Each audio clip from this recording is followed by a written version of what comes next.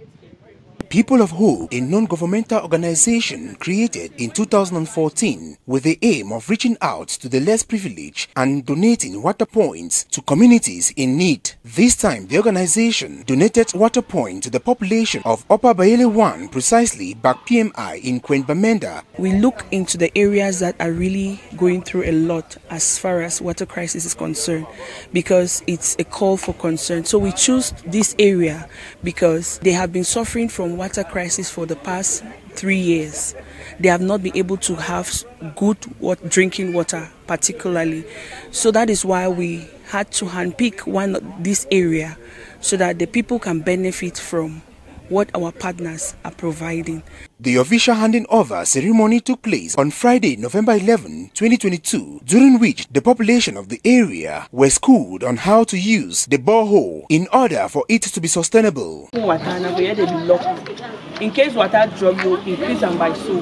You understand? Because now the committee go hold key for the well. While promising to jealously make good use of the water, the headquarters saluted the efforts of people of Hope. We are very grateful today that we have received this uh, water project from people of Hope uh, non-governmental organization, which is coming to to really solve a major problem that we have, which is the problem of potable water. And based on the engagements that we have taken with the organization, we intend to manage the project sustainably so that the community can really be relief of this uh, shortage of water that we are currently facing. The presence of this water here is a great relief to the population of Back PMI, who for close to three years now have been suffering from water crisis. What this organization has done, we don't know.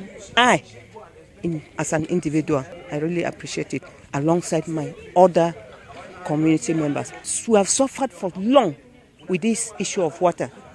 We have been going, scamming water left and right, going to far distance, especially in the dry season. When it is rainy season, at least we collect from the rainwater. But when it is dry season, we suffer. We suffer like seriously.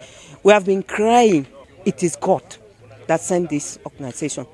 We thank the donors. We are saying that God should bless them abundantly for what they have done to Back PMI. We want to appreciate people of hope for this well that they have provided for this community. Our crisis all through this period is water, and water is life. If they have been able to identify this our quarter and give us water, want to actually appreciate them for the initiative coming to our community. People of Hope and their partners, Mr. and Mrs. Juan Harrow, Mr. and Mrs. Billy Collan, Mrs. Kenji Peshen, and Mr. and Mrs. Sayo Victor are determined to continue reaching out to the population. We are looking forward to handling other areas like rehabilitation, providing to the less privileged, the widows, the orphans, getting into the health sector as well. People suffering from cancer, people suffering from pandemics, and why not natural disasters. As Christians, we believe that love is not only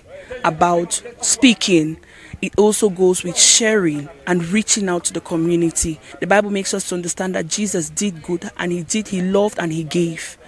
So that is what we are following as Jesus being our author and being our cornerstone. With the slogan, giving hope to the hopeless, people of hope have been able to give hope to thousands of persons in and around Bamenda through the donation of boreholes and is working hard to reach out to many more communities.